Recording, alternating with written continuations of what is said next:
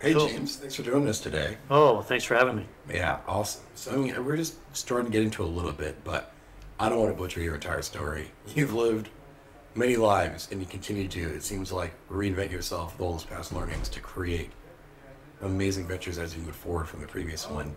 So I'm curious about like the high level of, of James before we get into like a lot of what we want to chat about today. Oh, well, I'm just the luckiest person who ever lived, right? I, I was the right age when the internet comes along in 94, and I was in my early 20s and was able to jump on that and start using that open creative canvas. Yeah. Uh, and then 14 years later comes along the mobile phone and creates this other giant canvas, and now we've got our third one, which is the AI revolution, and it's now this this third giant canvas. And in each phase, the typically the low hanging fruit sort of sits there for three to four years. This one might sit there for five years because it's just that much more complex. Right. Uh, but there's this wonderful open period of creativity. We're in it right now. It's amazing.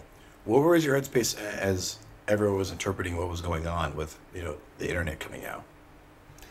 Yeah, so that one was uh, pretty interesting because so many people didn't believe in the internet. It's hard to imagine now, but uh, there was one famous guy, Bob Metcalfe, who said it was going to be like the CB radio, where it would come and go. It was just a fad. And a lot of people felt that way about it. And I think there might have been 150 million people on the internet by 2000. There weren't that many people on there. Uh, it was pretty slow to adopt. And, uh, and so just watching people invent e-commerce, you know, being part of the uh, security things uh, with browsers, the search engines, like all the, the basic building blocks were being built.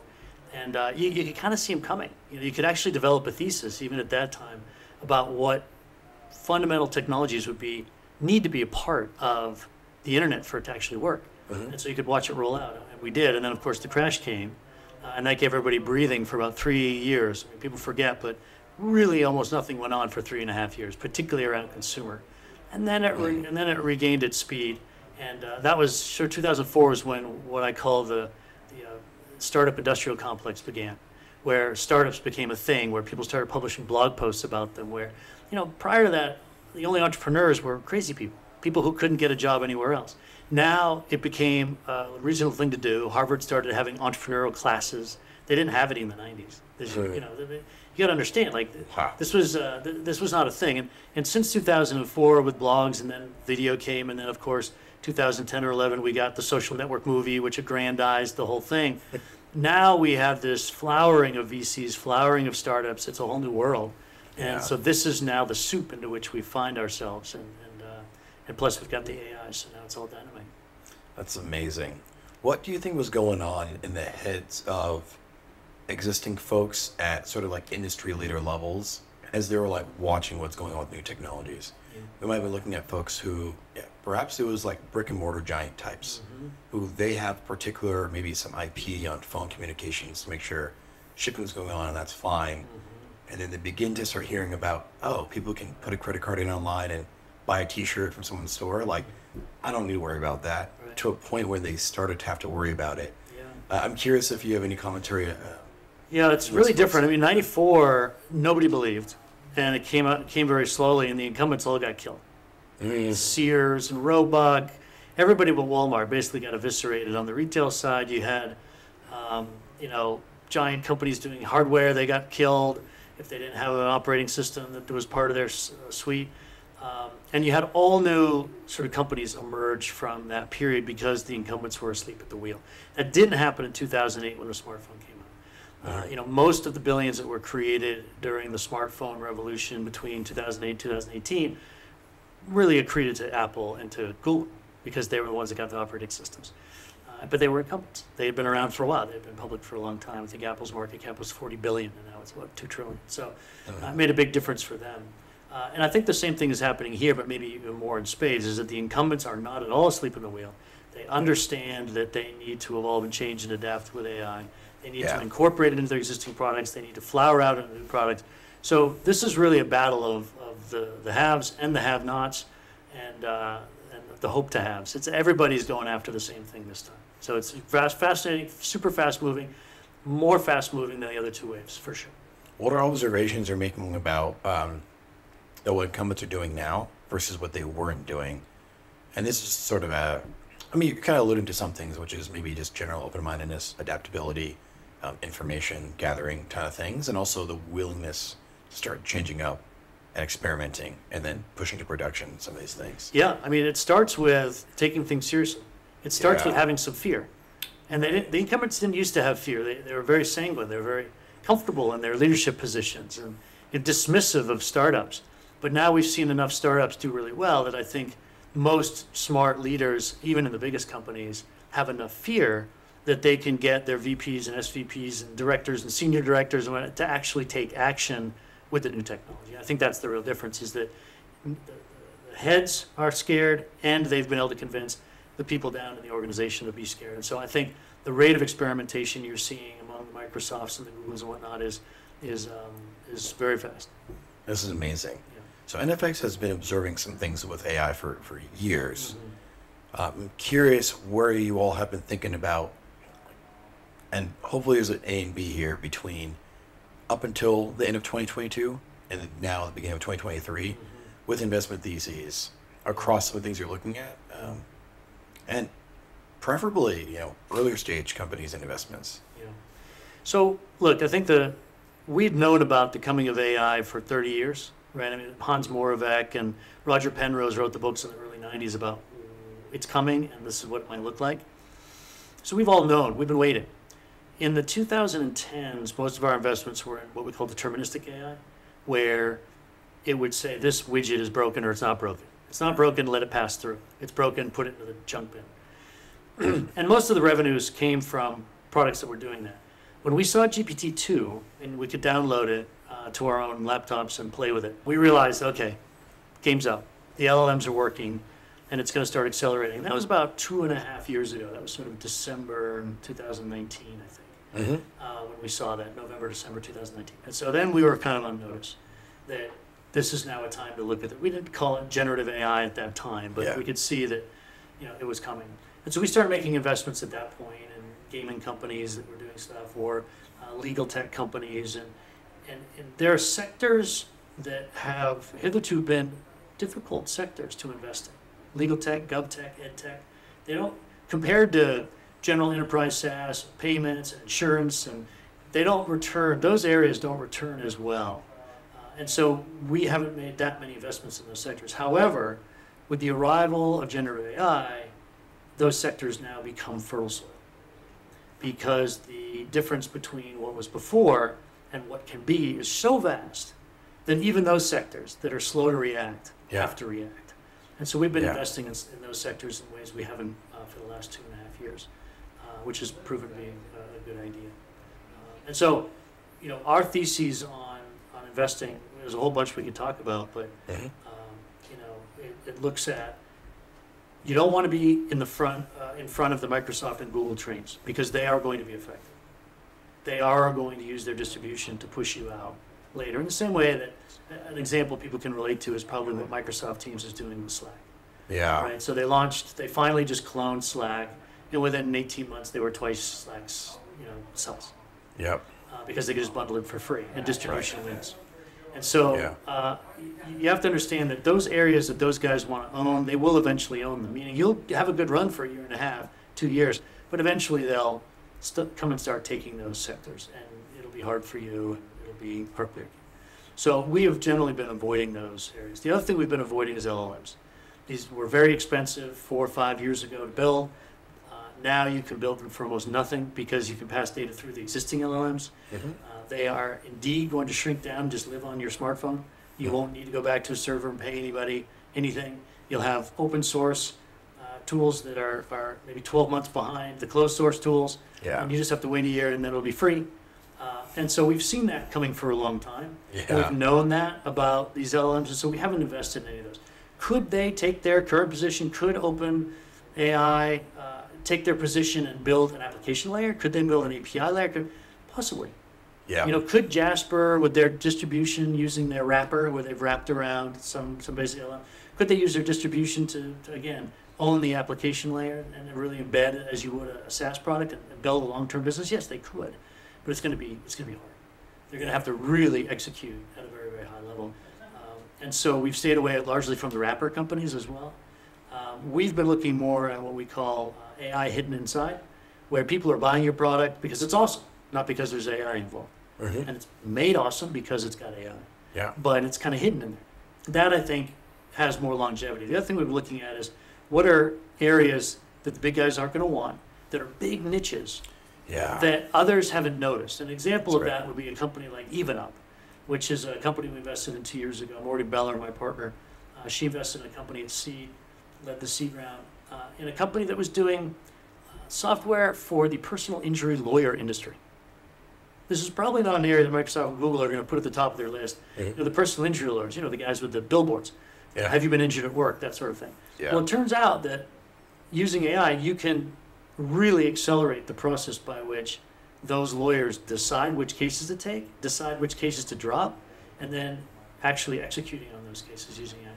And so they're growing like crazy. It was probably the hottest deal the last year here in Silicon Valley. They got seven term sheets. Mhm. Um, and uh, you know they'll be announcing officially who won that that, that competition. But uh, the information had a little article about it a few weeks ago.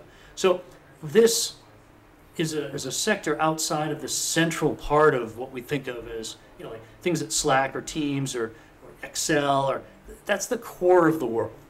And in that middle place, you're going to have a tough time as a startup carving out your own niche. But in those you know, sort of hinterlands, like personal injury lawyers, these are massive industries that no one has touched, but with AI suddenly become touchable, suddenly become sellable. Um, and so we're looking we're looking heavily at that. Is this something to the to the effect of now the value that's good at you can create value that they're willing to pay for at a price that is profitable to you because now you can do some of these things such as that processing. Right.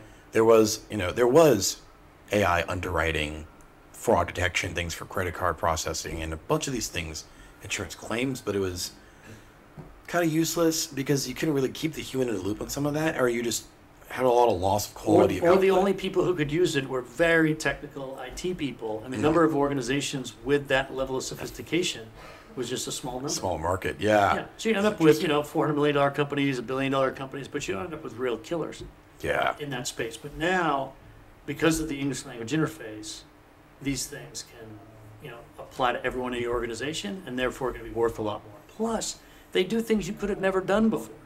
You just no matter how good your software was in 2020, you couldn't do what you can do now. Yeah. And so those types of services, people are. So you're going to create all new businesses, whole new industries, and that's the third. That's the third sort of area that we're looking very hard at is sort of the breakthrough ones. Where um, you remember when we first saw the mobile phone, I didn't immediately say, "Oh, that's going to transform the taxi industry." That wasn't the first thing that came to mind. Yeah. Uh, but after three years, the guys at Sidecar said, wait a minute, if we combine GPS with payments, with maps, and we apply it to transportation, that seems like a good idea. And Mm. eventually, enough entrepreneurs tried enough things that Sidecar figured that out, and then Lyft copied Sidecar, and then Uber copied Lyft. And that was the moment where we got this sort of big app that everybody recognizes the smartphone for. So that same thing's going to happen with AI. That there's going to be whole new industries, whole new applications. Mm. Hopefully on the consumer side, because look, consumers been boring. You know, since DoorDash, I mean, what what what have we had? We've had Discord and TikTok. That's 12 years. That's maybe or whatever, 10 years. We've had like two interesting consumer products Yeah. right? And remember, consumer was really interesting between '94 and 2013. It was still Snap in 2011. We had Uber in 2009 or whatever, 2010. So consumer was hot, and then it just stopped. It's been Yeah. so boring.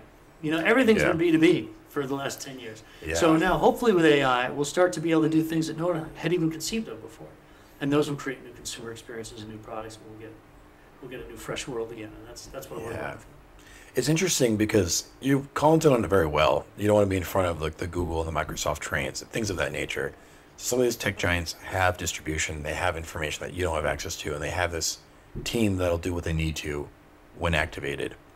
This being said, uh, it seems pretty interesting because all the reason why they became tech giants is because they have all the consumer products you actually need, right? If you've seen the image of like, Yeah. take your calendar, take your whatever, Yeah. and put it, all, pack it all in there. Yeah. Well, it's because you know they all your needs as a basic human, a function, are basically taken care of. Yeah. Everything is like a little bit of a marginal whatever, and then you have adoption to download your native app or try to buy off Instagram.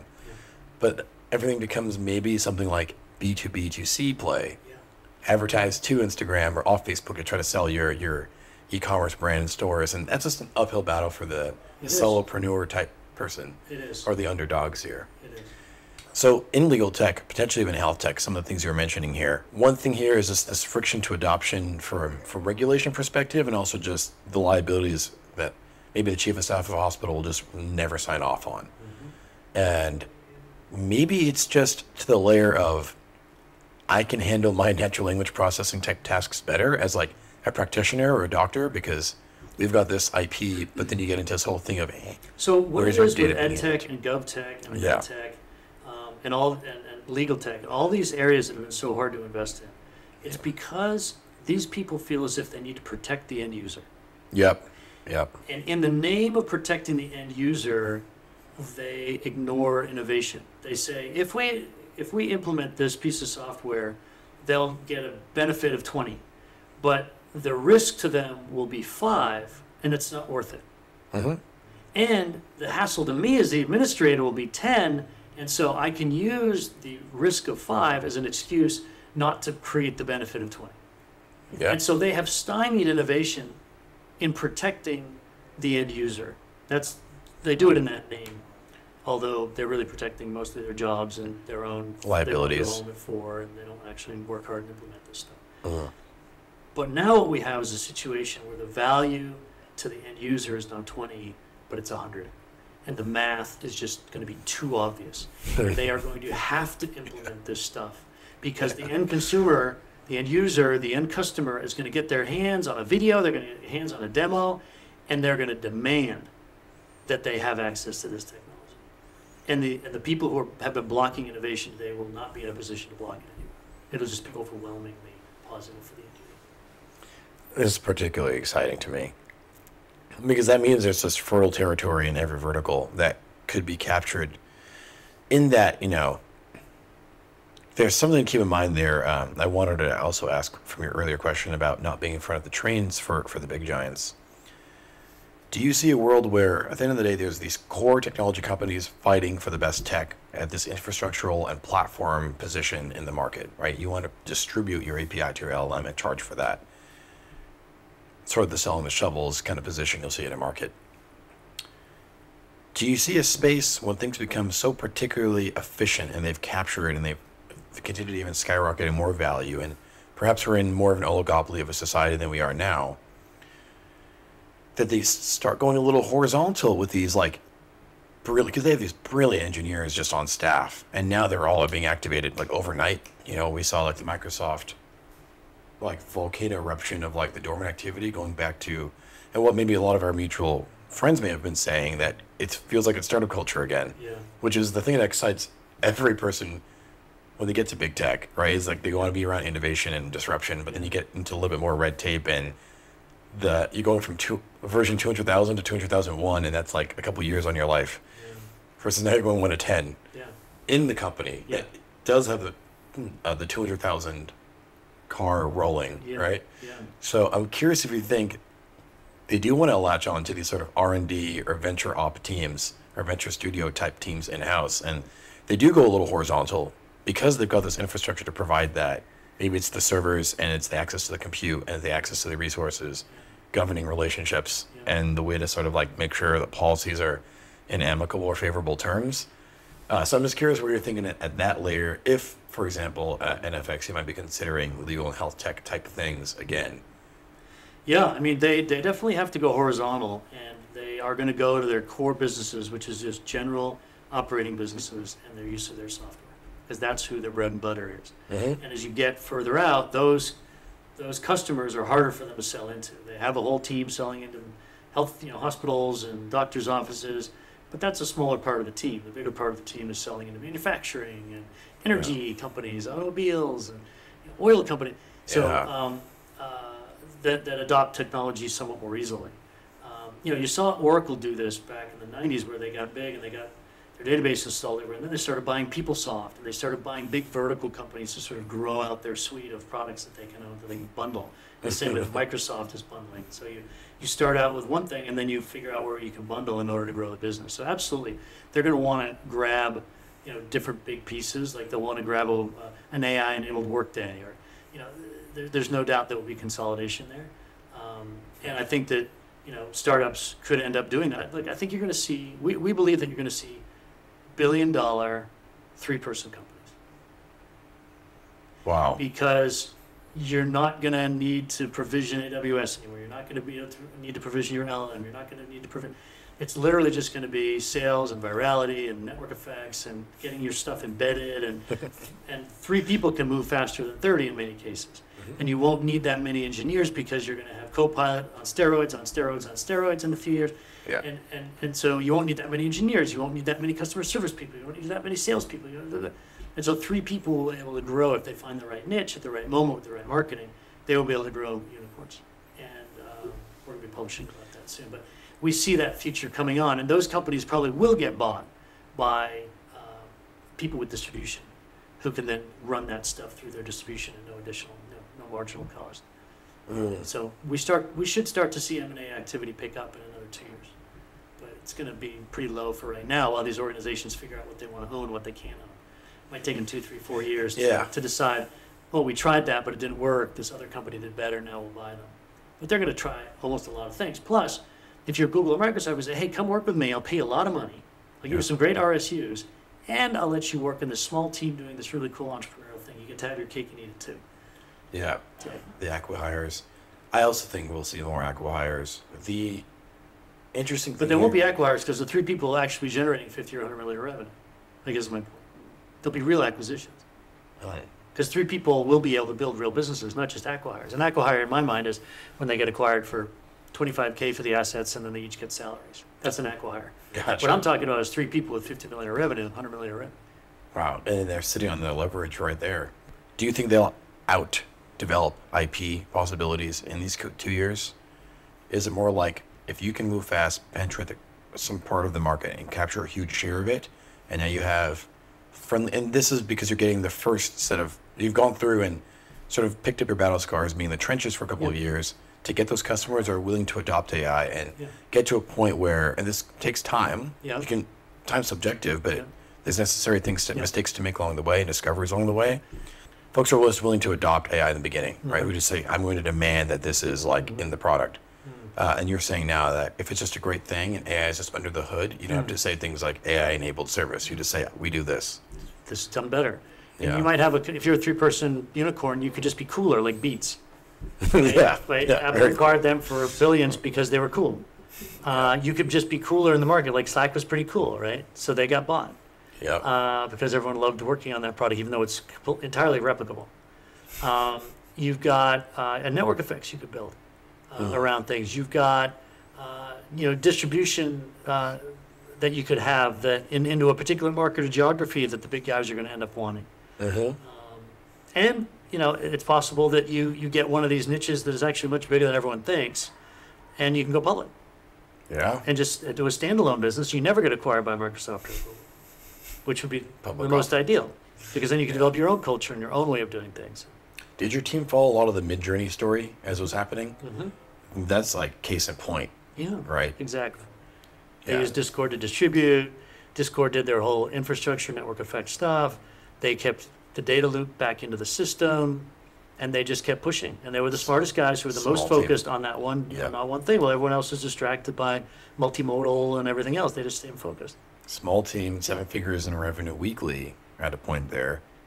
Now they're able to do the white label stuff, and it's been pretty interesting to see that evolve. And I think that in itself is the thing that tells you, like, okay, there's just there's no tide turning, like the tides have turned. Yeah. Like money in the ecosystem is going out to this other this other node in the network of capital in the economy. So Yeah. what's going on and why? Yeah. That's exciting. What can the everyday builder start building? How should they start thinking about their ideas from the get go? Well, I see this as the two things of know your customers or talk to your customers and build product, right? You have all this language. Um, That's that's really but you that's mentioned really insightful and wise. Talk to your customers and build stuff. Yeah. That's the advice.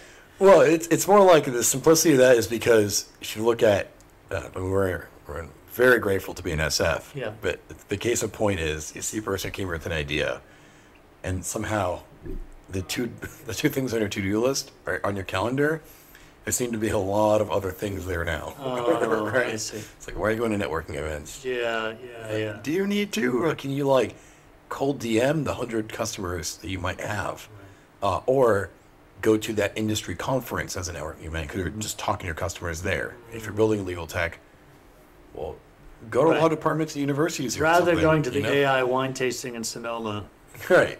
uh, conference for fun, Yeah. go to your customer's conference in Topeka, Kansas. Exactly. See what they're doing. Exactly. Okay. The, uh, anyway, this being said, So if that's what people need to be reminded of, then, okay, we're starting at a very, very low level, but okay. no, I, no, I don't think that's the point. I think yeah, it's just like uh, you said it very well earlier as well. I think we are approaching the cost to production going towards zero. Hmm. Right, like you said, cost to generate code, media files. You can automate your social media activity just for daily posts Yeah. and get in the algorithms. And we've kind of been able to do that for a while now. Yeah. But now folks have that suite of tools where, what what is a hundred bucks a month in subscriptions from like just product hunt features and launches. Mhm. You got a CMO, a CFO, a COO, Yeah. and then you can be the CTO. Yeah. And then there's your C-suite team to build those three-person teams, like you're saying. Yeah. A, a double-digit dollar figure a month replaces some full-time functions in the organization. Yeah. Job functions, maybe not the people, but individual tasks to take care of. So if you know that, hey, to get to 10,000 customers, these things, this list needs to be growing, and this activity needs to keep hammering it in there, and we have to Mhm. continue to work on a product in the meanwhile very quickly. Mhm. I mean, you can do that for the first month, and Yeah. you hit that goal, Yeah. and you crush that milestone. So Yeah, so what, Anyway, when we got cloud from. compute, right? Yeah. The cost of the hosting and the um, and the sending out of, of all of your software data dropped, you know, 100x. But all the other business costs, salaries, office space, PR agencies, CFOs, like bookkeeping services, all that stuff stayed the same. yeah, Which is why, even in the age of uh, AWS and Azure, we have companies raising fifteen hundred million dollars. Mhm. And now what's happened is all the other functions are going to start dropping hundred x right. because of AI, and uh, and that's going to really make a bigger difference than even the hosting did, because the hosting Yeah. was one, you know, maybe twenty percent of it. Yeah. So does the bootstrapper today they just you know be optimizing for revenue as opposed to having something proven, get runway, and then try to generate some sort of return based on whatever. You can do it either way. Okay. Either way, I mean, look, if you found something that's super viral, Yeah. and it's going to get more viral if you don't charge for it. But you can see the long-term end game. You have a real network effect, or you're going to be defensible. Go for it. Hmm. Do it. Go raise the money. Go pay for your bandwidth, uh, and and go grab that market. Uh, on the other hand, if you find something small that people are willing to pay a lot for right away, either a large number of people a small amount, or a, a small number of people a large amount, uh, then that can that can work really well also.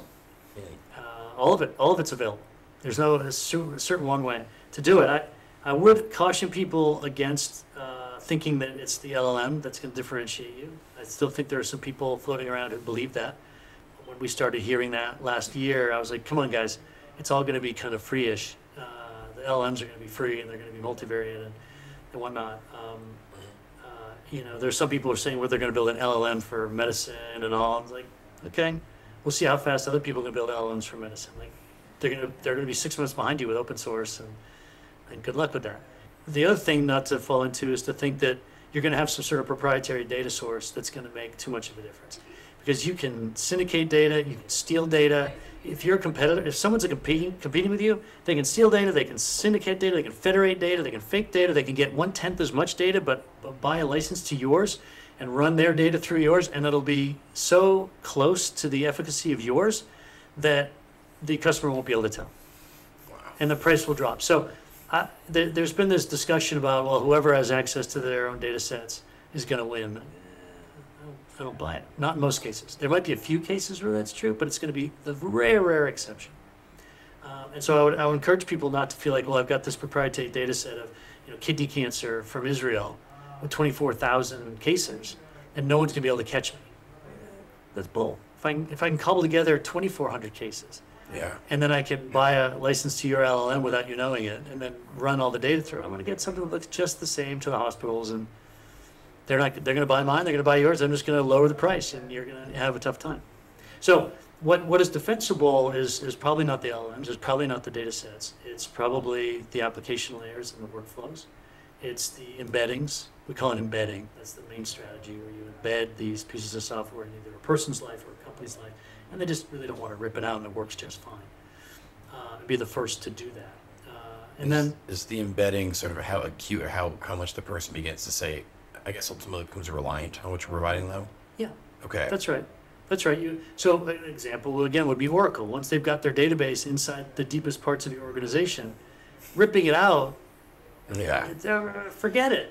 Right. You know, I'm going to retire before. You know, I'm only retiring in 20 years. Like, I'd rather not rip out Oracle. It'll still be there 20 years from now. That know? was brilliant. Yeah, you know, Wow. they, they charge me 25% more. I'm going to pay it yeah. every year. What am I going to do? The, the, the Right. amount of disruption that it would cause an organization to rip Oracle out is just too much. Workday, same thing. Like these are embedding businesses that can be really good, and hmm they don't have necessarily network effects, but they have embedding. So we think this is going to be helpful for. And then, then we also think, of course, you know, the killer of all defensibilities is network effects. That's why we're called NFX. It stands for network effects, and, and building up those network effects with your users or with other companies, and getting getting that all working together is the other thing you should be looking for as you, you build these out. The other thing that I really want to caution people about is uh, almost every idea you're having, uh, everyone else has as well. I had some guys in my office this morning and they were so excited about their big vision. And I just had to tell them, I was like, guys, you're the fourth one in the last 10 days with this same idea. And their just faces dropped. They're like, I th- but, but I've been working on this for three years. Like, I know. But, you know, the storm has blown through and now everyone can see that this is there to be done. You might have thought of it first, but now everyone sees it because it's so obvious. And I've had that conversation with people since September when this whole like upward swing started. Yeah. That's why we published our market map on nfx.com. So if you type in AI market map on Google, the first link you get, I think, is ours. Maybe PitchBook is buying a sponsored ad above it or whatever, but you'll get to the uh, to the NFX market map. We published it simply because uh, we'd been building it for two and a half years, and the founders I was talking to on the phone didn't believe me that there was literally 80 other companies with the same idea. They're like, I don't see them in market, and I've got 20,000 a month in revenue. I had nothing three months ago. It's amazing growth. I'm like, it is amazing growth, and your customers do want it. But what does it look like 18 months from now or two Yeah. years from now? Right. Because there's 80 other people, and they're like, I don't believe you. You're you're being mean to me. Like, I'm pissed at you for telling me that. I'm like, okay, don't be mad at me. Just click on this link, and then tell me. Look, look at all the other people doing this. Go to their go to their websites. Find a new idea. Find a new space. Find a new open space nobody's in. And I, so that's what I've been encouraging people to do since September. Is just realize that I know it's exciting. It's so fun. It's, it's it's every 14 years we get one of these new storms blow through, and you're in the middle of one, and you're capable, and you're knowledgeable, and you're ready to do a startup, and you're convinced. But if you have 20 other people doing the same thing, and 12 of them get venture backed, none of you are going to have a good time 18 months from now. And in that real time sort of, uh, we'll call it reactivity for the conversation's sake, um, that's something you can just pick up on immediately as an investor in the room, right? And you can see immediately, well, this, because the, like you said, you have to be able to adapt and pivot and sort of exercise this entrepreneurial skill of stoicism in times and saying, Yeah. even if I don't have an answer to defensibility question, but I have the $20,000 in revenue, I know keep moving along and Yeah. move with the wind Yeah. because we know how to sail. Yeah. Uh, Yes, and you can totally decide just to keep going yeah. Right, right. um, and, and, and build it from there. Yeah. But when it comes to raising money, it's going to be hard. So you have to figure out your path without raising money if you Mhm. want to keep doing that. Because investors, unless you break out, unless you're the breakout of the 20 or the 40 or Yeah. the 50 who are doing this, then yeah, Series B guys will throw 40 million bucks at you and off you go. But you have to be the breakout. Yeah. And getting the seed investment in the Series A is going to be very tough given the competitive environment. And given that Google, Microsoft are about to announce stuff, Yeah. OpenAI will announce stuff, you know, Yeah. spook people. Yeah. You know, and you might raise the three million dollar seed, but then you're probably going to have to pivot. And that that's fine. That's fine. And if you get the right seed investor, they're going to go along with that with you, and they're going to want you to do that. Uh, so you can pivot into more open space or cleaner air. As we're sort of recursively going lesser and lesser on these intervals of releases, and everyone's building on top of other things, and that's what's been around software like, indefinitely. But I'm curious how you're all thinking about time horizons on concrete terms uh, for things like when you would hope to get a liquidity event, and maybe you're even thinking about, and this just for now, the conversation's sake of, can you think about five years ahead? Like, it's always been vague. It's always been a car without anything in front of you, just rear view mirrors to, to make decisions like this. But is there some something to be said for folks can go through different investing models or expectation setting of this might not be 10x or 100x, but it might get you 10x in a year, you know, if you're moving fast enough and you might just want to exit your positions. And I know that's not necessarily the thing an LP wants to hear. yeah. So so I'm a GP. So I'm a, I'm a Yeah, yeah. venture capitalist. I used to be a founder Mhm. four times over. We at NFX and probably most great seed firms and, and Series A firms don't think in terms of the question and the way you asked it, at least. We think, how does this become 500x or 1000x? How does this become a public company that is one of the pillars of society going forward? Because Gotcha. anything less than that doesn't move the needle for us. If we make 10x or even 20x on our two and a half million, I don't care. Yeah. 20x times two and a half, you know, it's it's 50 million bucks. My fund is 450. Like, it doesn't even. It's only one ninth of a fund. I need to return that fund five times. Yeah. So I only care if it's 100x. I want to go for the big one. Yeah. And I want founders who want to go for the big one. And if they don't, that's totally fine. They just shouldn't take my money. Right? They should go and sell their company for 25 million bucks and make their 6 million or 8 million, whatever it's going to be, Yeah. pay their taxes, and they'll end up with 5 million bucks. It's amazing, life changing. Yeah. What, what more do you need?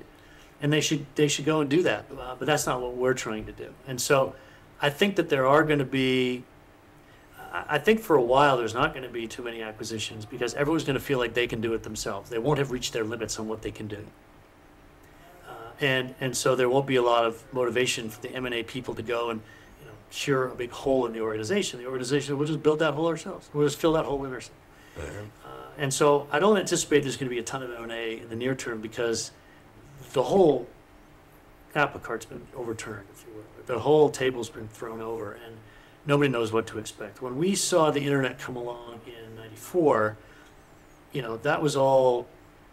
Prior to that, we were doing, you know, just on-premise software. The software would be on servers in your own closet. There'd be blinking lights in there. There'd be wires coming out of it. When we got the internet, we didn't really get SaaS until starting from 1998, 99. That's when it started to kind of bubble up. And we got Salesforce in 2000. But for the first five, six years, you know, it was mostly consumer stuff that we were doing and, and security stuff to make to make the internet bulletproof. Uh, but it it really took off, you know, sort of by 2003 and four. That's when all the pieces were in place. We had the fiber optics, we had the security, we had the SaaS concept, we had credit cards were working, we had digital photography and started working. Like once that was all in place in 2003, four, that's when it finally took off uh, in in a real way. And the same thing is going to happen for AI. We're going to have a bunch of years where the pieces need to be in place, and then everyone will kind of understand and have a theory about where things are going. And so the CEOs will be willing to let the M&A people go do their work at that point, because they'll at least have some white papers, at least have some buy-in from the board. They'll have a thesis into Right. which they can invest. Yeah. Up until up until that thesis point, everyone's just going to be chaotically building, which is the wonderful, chaotic, most opportune time in the world, which is where we are now. Right now. Yeah. Exactly. It's. But you're not going to get an early acquisition for 10x. That's not going to happen. That makes sense. You have to be committed. It seems really clear right now that like an important thing to index on from what you're thinking about in your your current theses is is this embedding portion, right? As you're just talking about, to go from seed or Series A to IPO, it's fundamentally true. Like, what was the difference with Uber? Whatever they did, they battle tested it. They, they imitated, duplicated, whatever. They did everything they can to make sure this was the mode of transportation you relied on to function in your daily life. They had the they were very quick for getting the B two B relationships set up as quickly as possible. That was like one thing that other companies forgot to do was like, who po- most needs this? Who needs to get to the office and get to meetings every day? Mm-hmm. Who's in a busy metropolitan area? Who has disposable income or it's justified to expense this to the company because that person's time and energy is so valuable to keep producing. They were very smart about uh, their target audience, Sure. for at least for that stickiness in the beginning. Yeah. I would, and stickiness is the term I use for, for what you're talking about Yeah, with we call it defensibility. yeah, exactly. and if you type into Google NFX Uber, you'll get an article describing exactly what you're talking about, Okay. a map and a video sort of explaining where they started and then all the defensibilities they added in on Okay. their road, and you're talking about one of them. Yeah. Oh, this is brilliant. Okay. Yeah. Oh, Same thing with Facebook. If you go NFX Facebook, you'll get an article about that. one thing, one thing your listeners might do is type in NFX defensibility, and there's a series of articles about defensibility. It's another one called reinforcement, where it talks about where defensibilities come from. And in it, I describe the fact that prior to the internet, prior to digitization, there was lots of different forms of defensibility. IP, where your ports were, where your mines were, where the railroads were, like all these things contributed to your scale effects and your defensibility. But once everything became digitized, it kind of eliminated space and time quite a lot. And we really boiled down to four defensibilities, which was network effects, embedding, scale, and brand. Oh, and those survived in the digital age. And now that we've got AI, it'll be interesting to see which of the four survive. Because we might just be embedding, or it might just be embedding and network effects. Might be brand. I don't know if there's scale. I mean, everybody, I think, pretty much instantly has scale. So I think scale kind of falls away. But maybe distribution, you know, maybe distribution comes back more into it. Yeah. You know, that you, you, you own your defensibility is based on the fact that you just own that real estate. So you can add in everything that comes next. Right? Which is what, what Google sort of did. They had distribution through the browser, through, the search, and so they could copy MapQuest and do maps. They could copy Yahoo Mail and do mail. They could copy. co- Google copied everything. They copied InfoSeek in their interface. They Yeah. copied the business model from GoTo, you know, Overture, uh, then had to pay, you know, uh, fees because they violated their patents for copying their business model, and then they copied everything. And I used to give a lecture where I said they copied everything except AdSense. And then the CEO who had founded AdSense raised his hand and said, "No, I actually sold my company to them." I'm like, "Okay, well there you go. They they've invented nothing." And so, with using their distribution through search, they were able to then grow into all these other spaces, including you know Word, competing with WordPerfect, and competing with Excel Wow. uh, you know, just copying everything that had already worked, but having better distribution. So, Brilliant.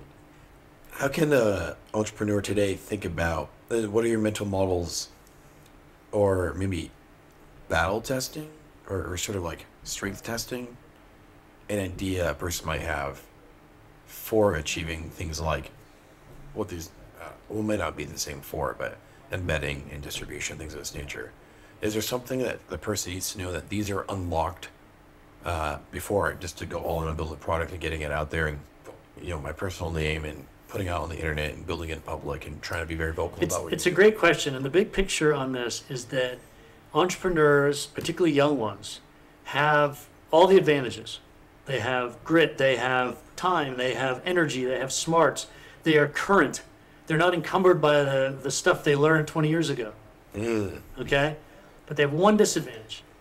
And that one disadvantage is that they don't know the answer to this question because they haven't seen tens of thousands of companies the way investors have or older people have.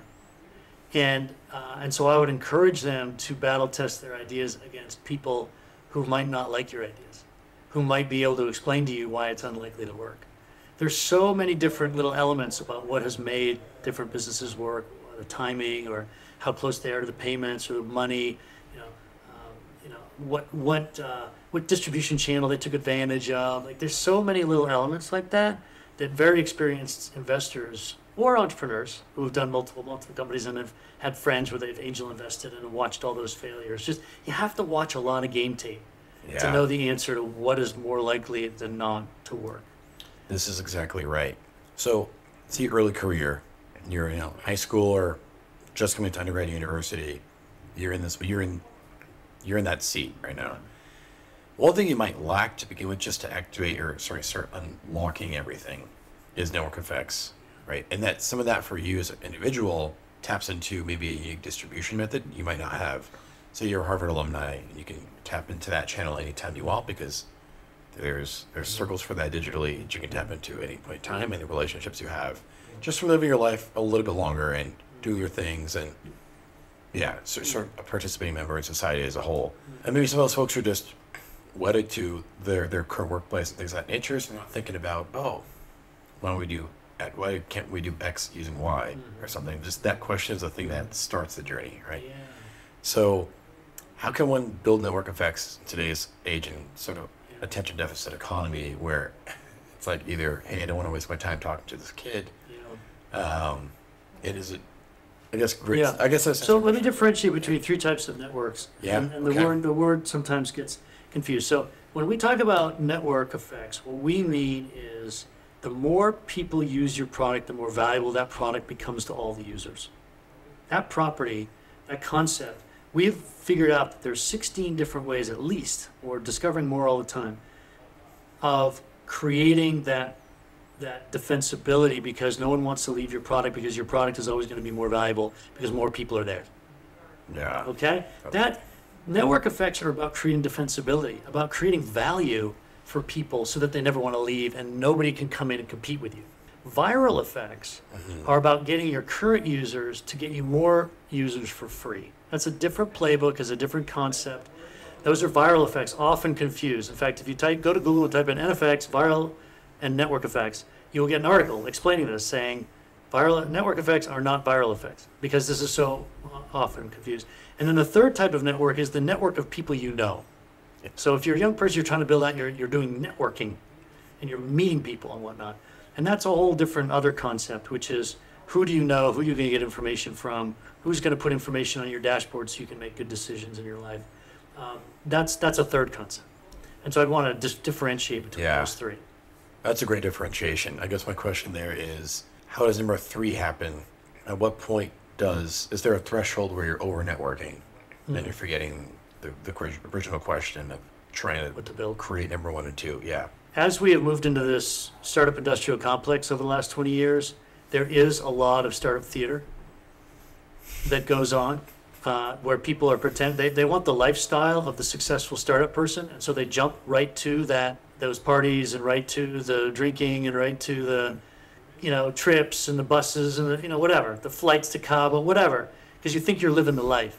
Uh, this is a fabrication. This is a distraction. This is this is a shallowness that people are. If, you- if you want to see a funny movie about this, it's called Almost Famous, and it describes the same thing in 1974 when being in a rock band became a thing, and, and people were pretending to be a good rock band, and people were pretending to be groupies of a bad rock band, and they were just bad groupies of a bad rock band because everyone was trying to fake it. Yeah. And we're getting a lot of that now. We're getting a lot of that now. I understand that people want the status and the money Yeah. uh, and and uh, the color, the excitement of startups, Yeah.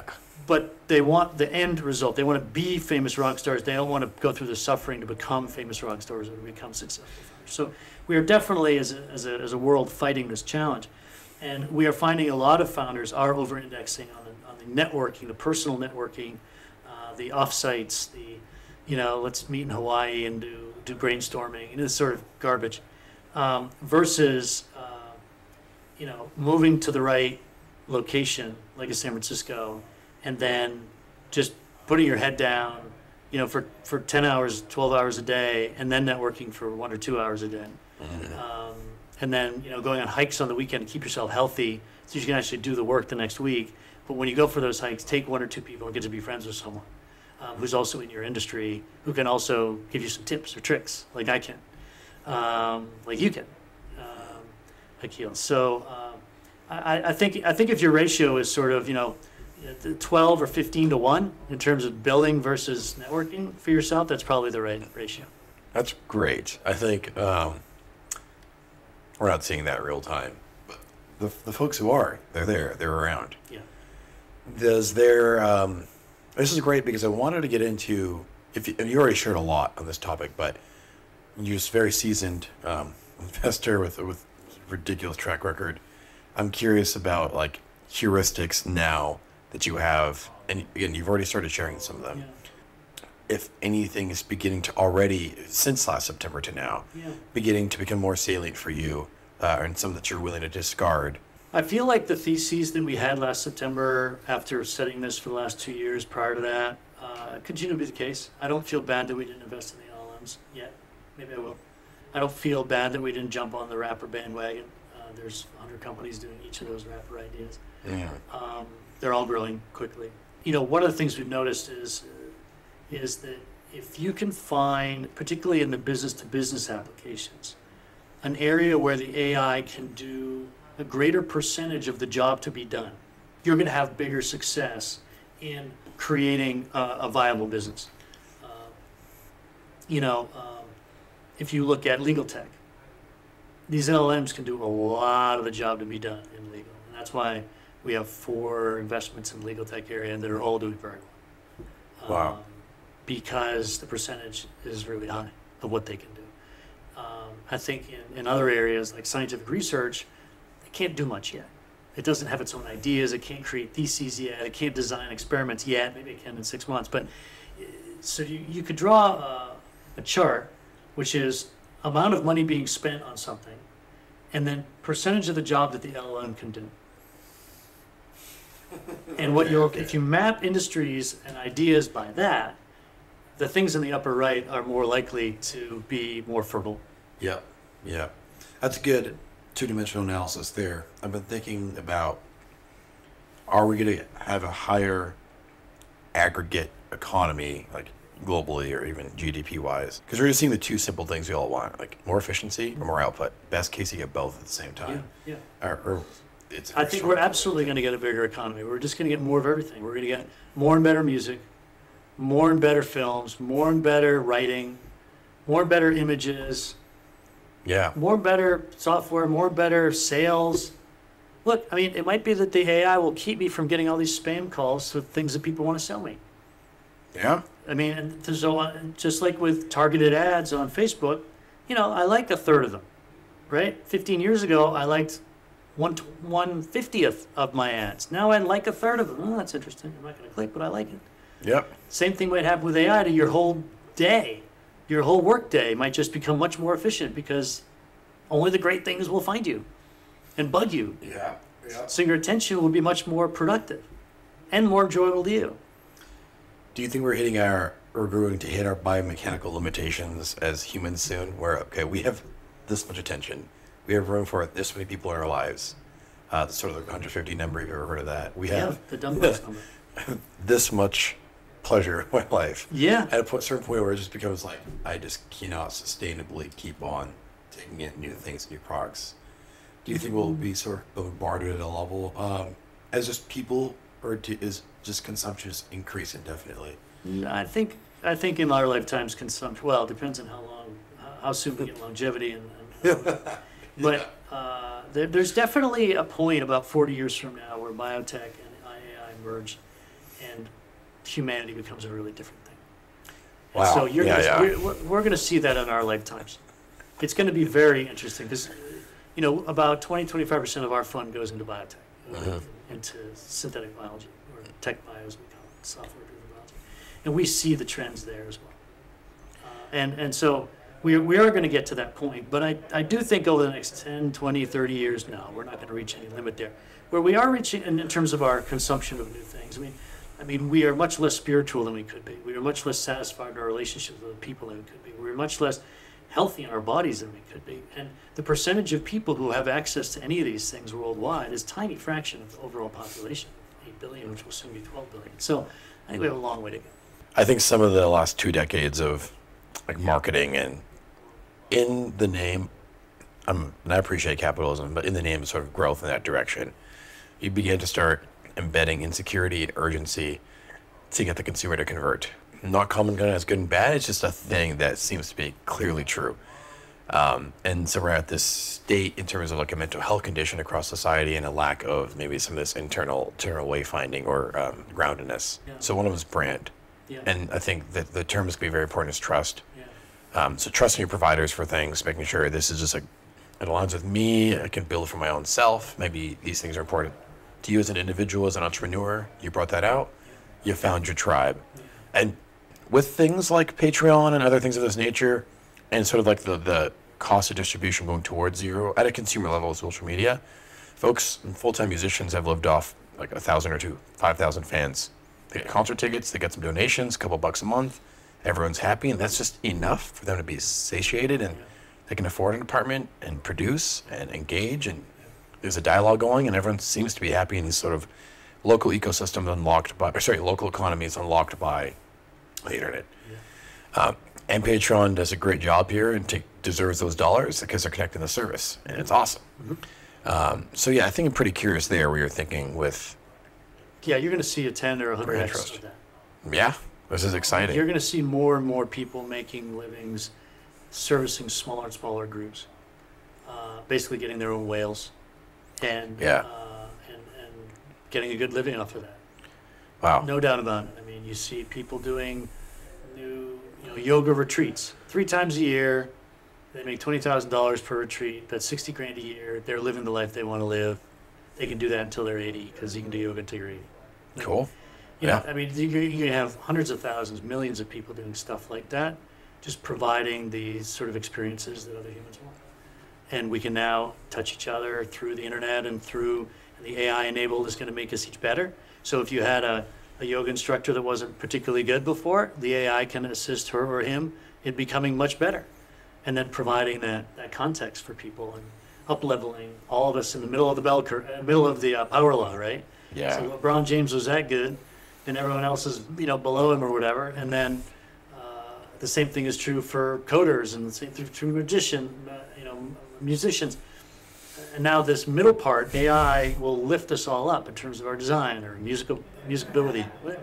make our voices Right. sound better, whatever. Yep. We're all going to become pretty good at Yeah. a lot of things. Improvement on anything is more of a function of like the volume, and that means like repetition and feedback. Like you're lifting, and then you have that resting time. Well, the growth is coming between that interval. That interval is tightening. Maybe it's coding or testing in any subject matter. You have immediate feedback loops with sort of a never-ending one-on-one situation with a, an AI t- Yeah. tutor or something. Yeah. That's just the AI tutor for with you. everything. Exactly. Yeah, it's going to make us give us superpowers.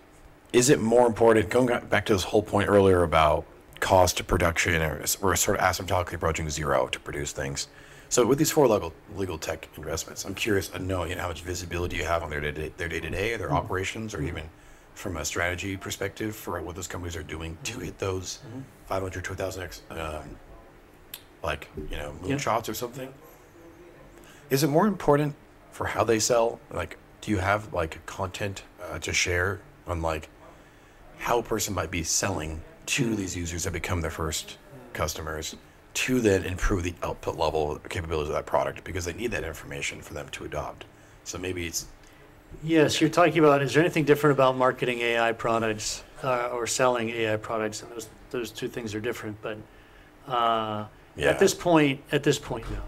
At this Okay. point, it's the same business of figuring out what the benefits are to the user, focusing on the user. yeah uh, And then finding different channels to get the message to them. Having your marketing be distinct from your sales, figuring out if your, your product needs to be sold or marketed, like, you know, all the, all the basic stuff still seems to hold. this is makes a lot of sense so you ran i think the count was like four companies at least publicly like you're kind of sharing about some of your stories over there so from all like the breadth and depth of company operations experience uh, from the founder perspective and seeing various stage stages uh, in those seats. What it's one of those things where you know, experiences teaches you these heuristics. Like you can't just like share some words because it's kind of like reading a tweet and thinking you'll be a better entrepreneur. Yeah, like yeah, yeah. you only the words apply because you have an experience to attribute that in your synapses and it registers.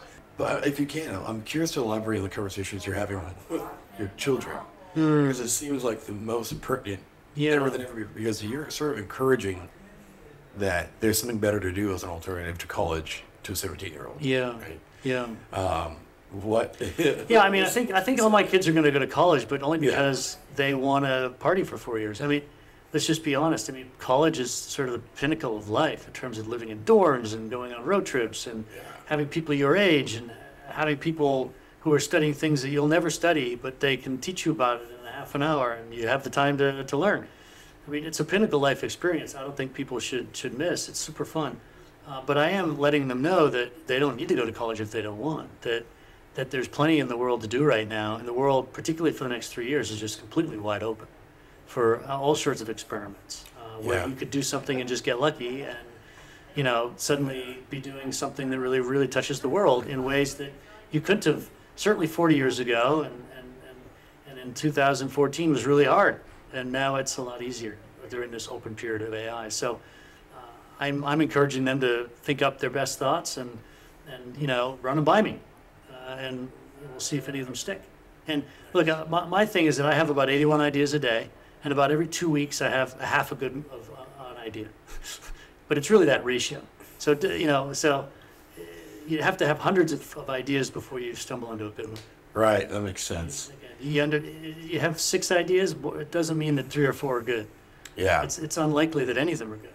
to sort of just function as a human so you're sustaining yourself and enjoying like the ride of life uh, I'm, i guess there's something there right now where i'm seeing i guess like a dozen new incubator not new but just incubator things popping up or say there's a new big brand they've never done this before but gen ai is just too Too juicy. big to ignore Yeah. uh, like aws running a summer camp type thing for an accelerator like Yeah. when were you doing an accelerator you know Right. no they are okay okay Right, right. great like use cloud services or something like this and it's it's just fun right like Oh, it's why so not fun. why not throw a few million bucks and just like make somebody happy with your own little incubator cohort but the value add as an alternative to something like school is you get this lean small enough but big enough intimate environment where you're living a new spot new world new environment Hmm.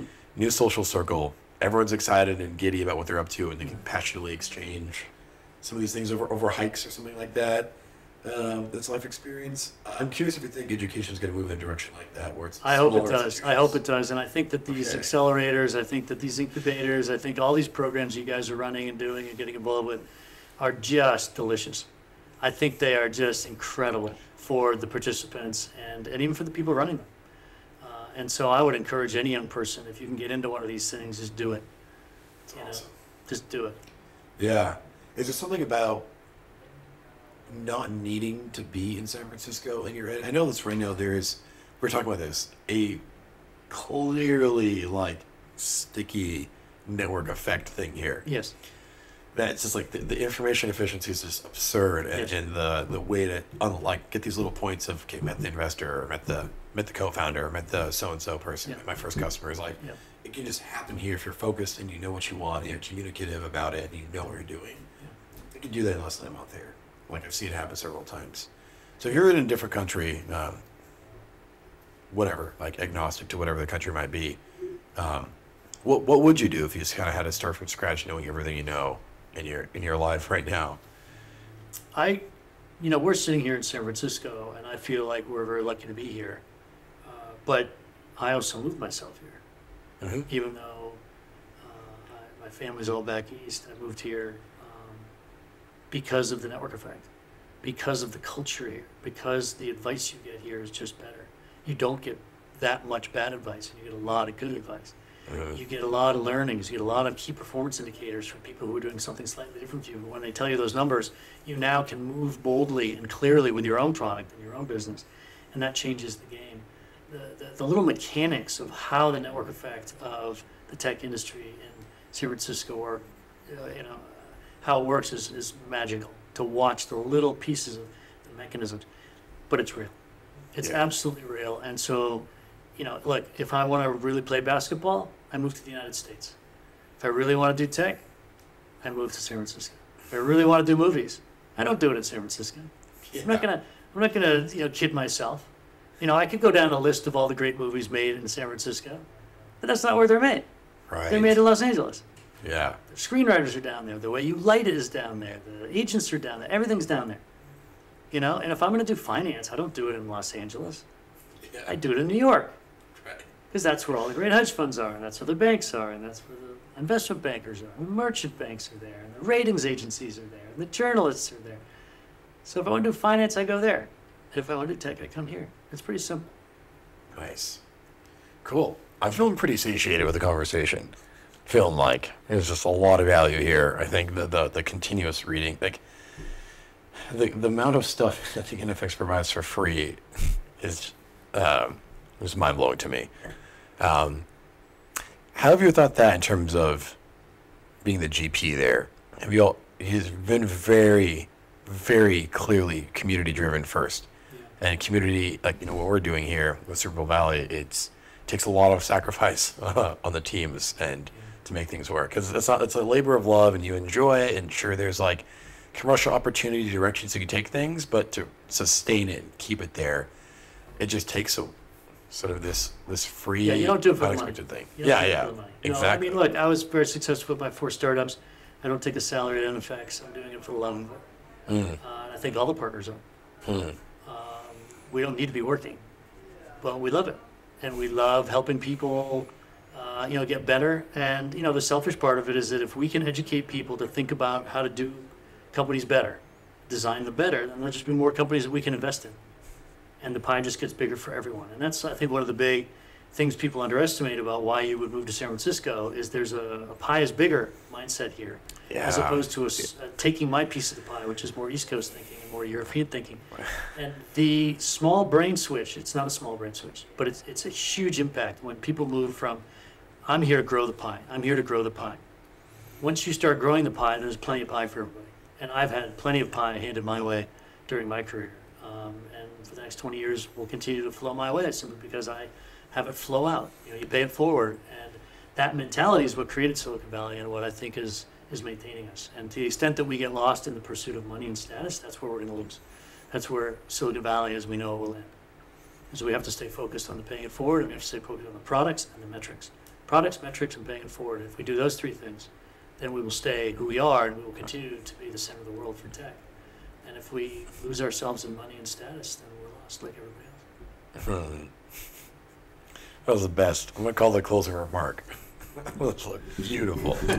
Man, James, I really appreciate your time. Of course you do.